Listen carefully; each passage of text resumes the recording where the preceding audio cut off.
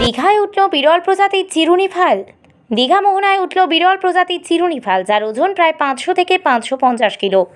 এটা সাধারণত গভীর সমুদ্রে পাওয়া যায়। এই বিরল প্রজাতির চিরুনি ফালের পাখনা দিয়ে জীবনদায়ী ঔষধ তৈরি হয় বলে মৎস্যজীবীদের দাবি। এদিন ওড়িশার পাড়াদ্বীপের একটি ট্রলারে উঠেছিল।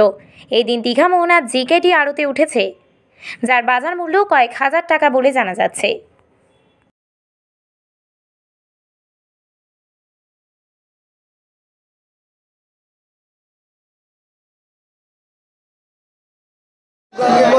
কি করে কে জানে এটা এটি করে দেখছি আর ও দু বছর কেন আগে আওয়া সে কাটাই করে দেখছি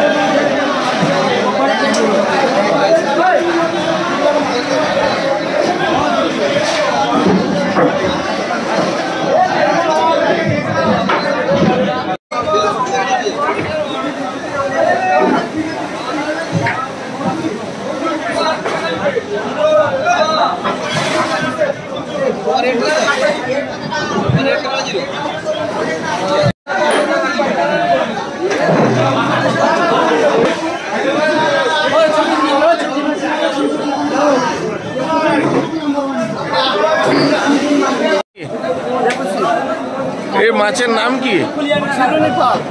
কোথায়? সমুদ্রে পাওয়া যায় এটা সচরাচর পাওয়া যায় না।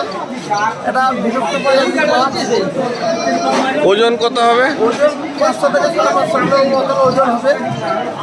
কি কাজে লাগে?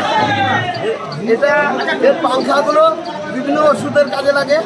আর মাছটা বিদেশে খায়ও।